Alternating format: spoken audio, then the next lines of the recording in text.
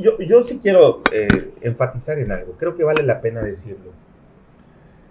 Los quintanarroenses vivimos en el 2016 una etapa en la que los nuevos funcionarios públicos eh, parecía que tenían como línea política, que estoy seguro que no era de Carlos Joaquín, una cacería de brujas. Ir en contra de los opositores, en contra de los que estuvieron en, este, en, ese entonces, en contra de, Carlos Joaquín. Y, y, creo que en este gobierno que acaba de empezar, en, de Mara Lezama, no hay ni de Mara ni de ninguno de sus colaboradores ese sentimiento de ir en contra de quienes no votaron por Mara, de quienes no participaron en la campaña de Mara, de los que estuvieron incluso con Laura Fernández, que Dios los bendiga. no es cierto, ya eso, fue broma.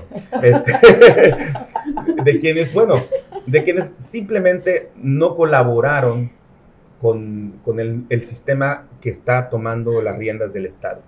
Este, e, eso creo que es muy positivo para Quintana Roo.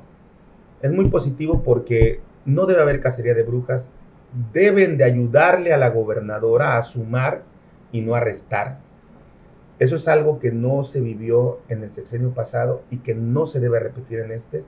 Los nuevos funcionarios públicos, los que no sean funcionarios, pero que de alguna manera van a seguir participando partidista o activistamente con Mara Lezama, deben de sumar a toda la gente para que ella se fortalezca y principalmente para que se fortalezca Quintana Roo.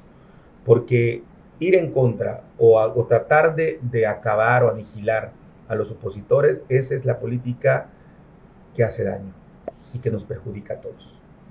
Em, ese es mi mensaje final. Yo quisiera que, ojalá y, llegue a todos los rincones de Quintana Roo.